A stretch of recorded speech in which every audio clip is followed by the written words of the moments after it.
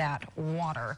Moving to some national news as climate crisis rages on. A Republican congressman has noticed has introduced legislation to take on the issue. He says America must unleash the innovation and ingenuity of the American people to get a grip on the issue. His Energy Sector Innovation Credit Act would encourage innovation for energy producers. The bill would offer a tax incentive for new energy technologies to increase the energy grid.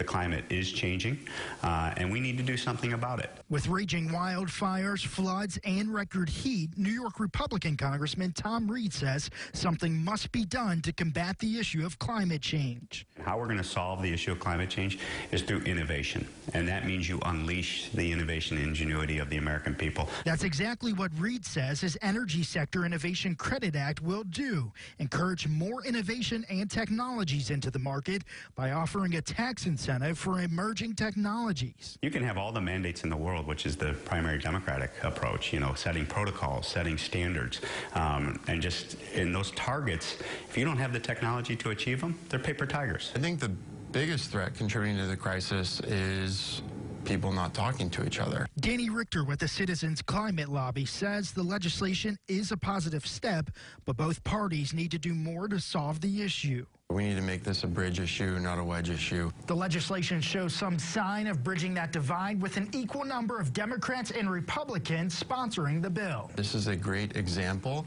of the kind of uh, work that can be done when Democrats and Republicans do talk about to each other about this most important issue. Innovation is what's really going to solve climate change. The bill now waits for a hearing before the House Ways and Means Committee. Reporting in Washington, I'm Morgan Wright.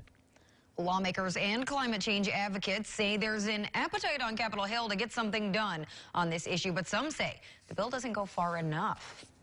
Well, former U.S. Vice President